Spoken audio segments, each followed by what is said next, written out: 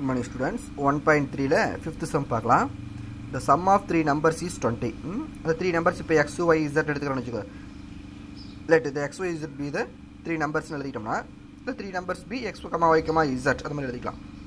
எழுதிட்டோம்னா x plus y plus z equal twenty okay இப்போ first equation ready second equation பார்க்கலாம்.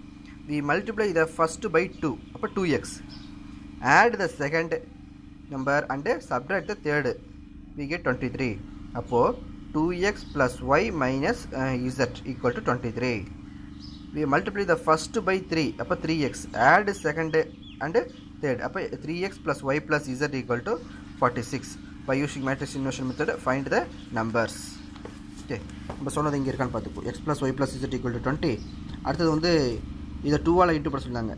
First வந்து டூவால் multiple பண்ண சொன்னாங்க. இப்போ two x plus y minus z equal to twenty three three x plus y plus z equal to forty six இதுக்கு அதே மாதிரி தான் இதுக்கு ஒன் டூ த்ரீ இங்கே தர தேவையில்ல இதை மட்டும் ஒன்று வச்சுட்டா போதும். இது தேவையில்ல நம்மளுக்கு.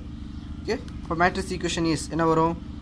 One one one two one minus one three one one into x y z equal to twenty twenty three forty six அப்போ AX equal to B X equal to A inverse B இது எப்பவும் வரதான் that is equation number one here A is equal to the matrix capital X is equal to the matrix B equal to இந்த matrix அப்போ determinant A first போடலாம். இதுக்கு determinant ஏ போட்டாச்சா equal to one into one plus one minus one into two plus three plus one into two minus three equal one into two minus one into five plus one into minus one two minus five minus one அப்போ two minus six எவ்வளோ minus four not equal to zero இப்போ A inverse exist A inverse exist இதுக்கு அடுத்த rough work போடலாமா? அஜ்ஜேக்காக என்ன போடுவோம்? One minus one two one one minus one two one அடுத்தது ஒன் ஒன் த்ரீ ஒன் அடுத்தது ஒன் ஒன் ஒன் ஒன் அடுத்தது one minus one two one அதை இங்கே எழுதிக்கலாம்.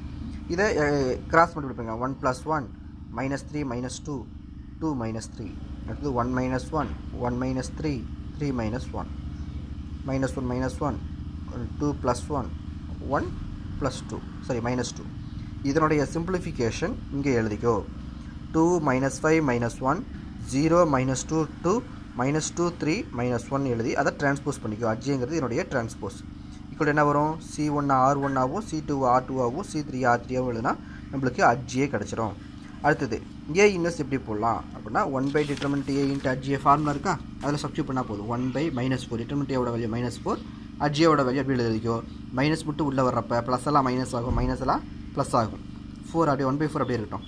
அப்போ இது நெகட்டிவ் ஆயிரும் இது பாசிட்டிவ் ஆயிரும். ஜீரோட்ட இது மாறாது. நெகட்டிவ் இது பாசிட்டிவ் இது plus five five two minus three one minus two one இப்போ x equal to A inverse பியா இது என்னது ஃபஸ்ட் ஈக்குவேஷனில் சப்ஸ்டியூட் பண்ணுவோம் ஏ இன்வெஸ் கண்டுபிடிச்சாச்சுல இப்போ ஒன் பை ஃபோர் இன்ட்டு இந்த வேல்யூ ஏ இன்வெஸ் பியோட value twenty twenty three forty six அப்போ ஒன் பை ஃபோர் அப்படியே இருக்கட்டும்.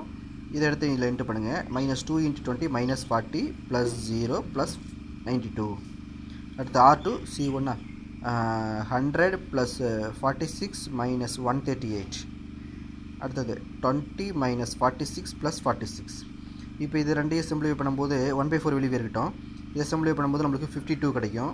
இதை அசம்பிளி பண்ணும்போது நம்மளுக்கு என்ன கிடைக்குன்னா எயிட் மட்டும் தான் கிடைக்கும். ஒன் ஃபார்ட்டி சிக்ஸில் ஒன் தேர்ட்டி எயிட் போனால் எயிட்டு இதில் இது ரெண்டு கேன்சல் ஆச்சுன்னா நம்மளுக்கு டுவெண்ட்டி கிடைக்கும்.